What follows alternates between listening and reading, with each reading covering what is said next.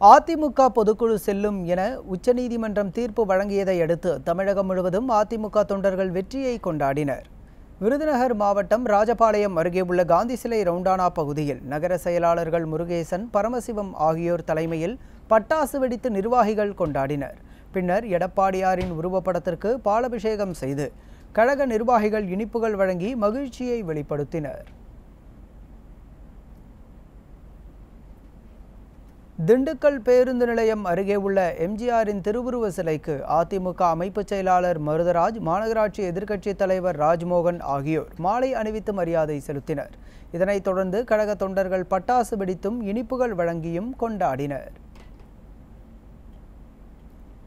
தூத்துக்குடி மாவட்டம் விளாத்திக்குளத்தில் அதிமுக சார்பில் மாவட்ட எம்ஜிஆர் இளைஞரணி இணை செயலாளர் வரதராஜன் தலைமையில் வெடிவெடித்து உற்சாகமாக கொண்டாடினர்.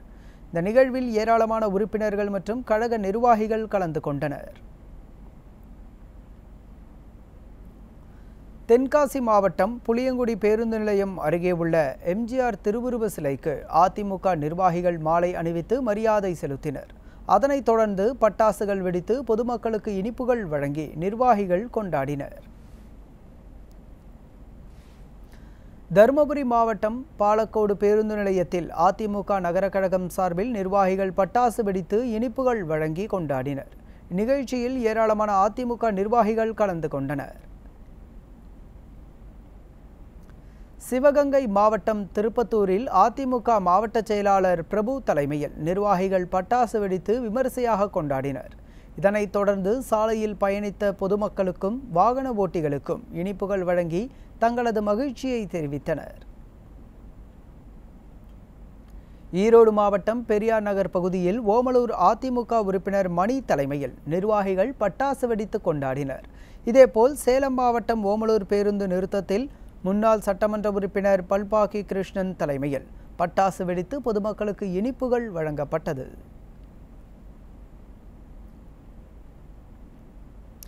ராமநாதபுரத்தில் அதிமுக பொதுக்குழு செல்லும் என்ற உச்சநீதிமன்ற தீர்ப்பை கொண்டாடும் விதமாக அதிமுக நகர கழக செயலாளர் பால் பாண்டியன் தலைமையில் நிர்வாகிகள் பட்டாசு வெடித்து இனிப்புகள் வழங்கி கொண்டாடினர். இதில் அதிமுக உறுப்பினர்கள் மற்றும் கழக நிர்வாகிகள் பலர் கலந்து கொண்டனர்.